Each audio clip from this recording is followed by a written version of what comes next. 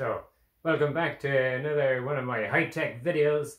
Uh, so, Rob McDonagh coaching for all things physio, training, nutrition and habit forming.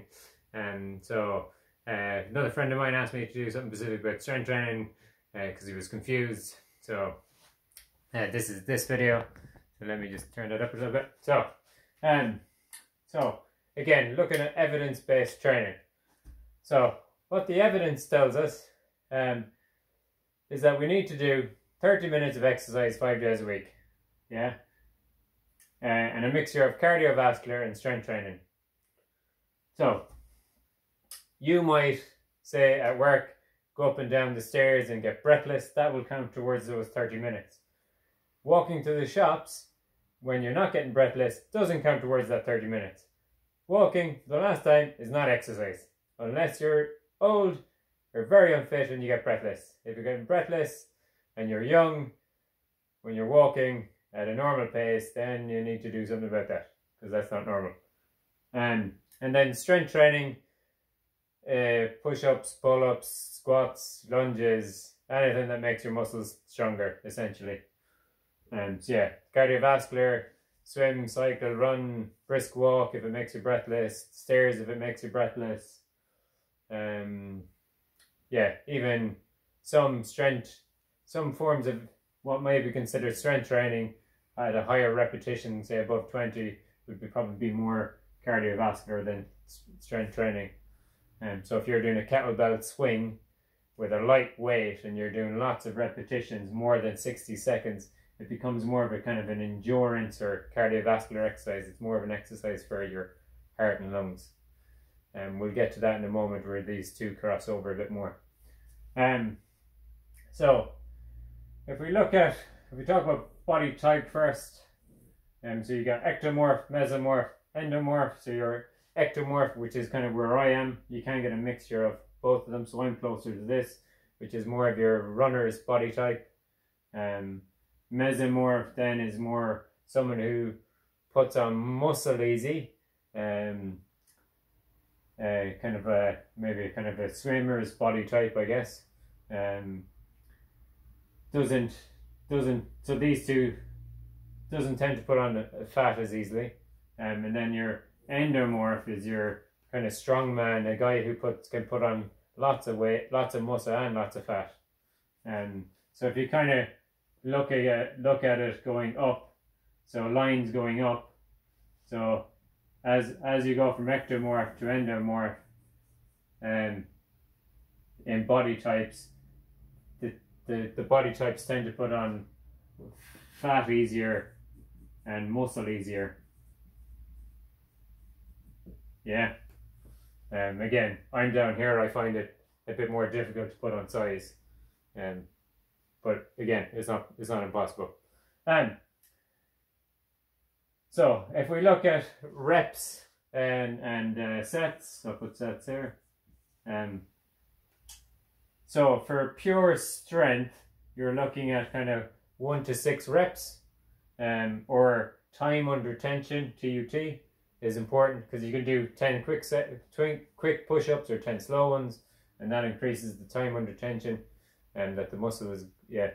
Um, so for pure brute strength, um, kind of a, your 0 to 25 seconds or 1 to 6 reps. Um, then your kind of 6 to 12 rep range for more size, and then kind of 12 or more, so greater than 12 reps um, for more kind of tone and endurance. Um, but again, obviously, as you, if you're doing say 1 to 6 reps, um, you mean as you increase your strength, you are going to increase size. Um,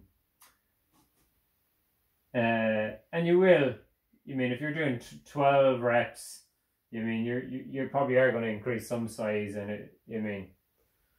Um, and then if you look at body types and then, and what your goal is, so for an ectomorph like myself, I need to be doing, in order to increase size, um, I need to be kind of getting closer to the six rep range. Yeah. If you're a more of a um, endomorph, I would be going more, uh, getting you to do more of the 12 rep range. And if you're more mes- me- mesomorph, um, you'd probably go mine be kind of halfway your 8 to 10 rep range. Um, yeah, so for me to put on mass, I need to kind of do more 6 um, reps um, and going close to going. You can either go, like, there is people talk about going to failure or not going to failure. And if I'm doing a, a shorter session, I'm probably going to do all my sets to failure if I can. If I'm doing a longer session, um, maybe more than 20 minutes, then I'm probably going to leave and I'm doing more sets. I'm going to leave a little bit in the tank, um, a few reps off failure, so uh, that I don't burn out in the first first set, if you get me. Uh, yeah, so uh, let's come down to uh, I. I think most people who train a lot kind of then kind of have their own kind of philosophy or style of training, which is what I kind of have. Um, so I tend to do a lot of body weight stuff because uh, it's easy. I do use some weights at, at work, but it's mainly dumbbells. Um, um, so yeah, I do mainly dumbbells and body weight training, more body weight than than uh, weight. Um, uh, my my goal is just to try to just get fitter in general and um, but trying to build some size. Um, but I'm not. I mean, I'm not too pushed. So um, let's talk about. So all of this doesn't matter unless you're consistent. Yeah. So habit and trying to be consistent is the key. So I'll, I, I've worked it out that I can do 20 minutes of training. I do during the week and it's realistic for me to get it in between work and my daughter and family life and whatever. Um, 20 minutes is, is realistic and it's, it's, and I feel good afterwards. I'm not exhausted afterwards. Um, whereas when you do longer sessions, you might be knackered. Um, and I can keep that up consistently. At the weekends when I have more time, um, then I'll do a longer session, um, and I'll probably do maybe forty minutes or more. Um, depends uh, depend, uh, depending how I'm feeling. Um, so and if if you are training just for general fitness, it is good to kind of mix it up between the uh, the different set rep ranges. Um, yeah, and then all of these, and you mean two sets or more. Um, I yeah, I might do two or three sets of an exercise one day and do 10 or 20 sets of an exercise of push-ups for example another day of the week. Um, again my goal is just to be consistent and with consistency gains will come. Um, my style of training I do a lot of uh, high intensity resistance training and not high intensity interval training. So where I'll do say I'll pick maybe for example a nice easy one uh, upper body so I just do push-ups and pull-ups back to back um, for a set time, say 20 minutes, push ups, pull ups, push ups, pull ups, little to no rest in between. Usually, my max reps in between sets when I when I train is 10 to 15 seconds. So I, I want to train shorter, more intense, more efficiently. I hate doing push ups, resting a minute, push ups, or, or bench, rest a minute, bench, rest a minute, which is kind of a very traditional way of training. I prefer to be doing something in between. I might do bench press and then with the same weight I might do rows, bench press, and then rows again. Uh, so that's high intensity resistance training. And the other beauty about high intensity resistance training, you are going to get breathless. So you are going to work cardiovascularly, so your heart and lungs are getting a good workout as well. Um, I tend to stick, because I only do 20 minutes, the 95% of the exercises I do are all compound. I don't do any ab work. Um, I don't work on smaller muscles. I don't do any like bicep curls. Rarely do bicep curls or tricep or tricep extensions or pull downs or anything like that.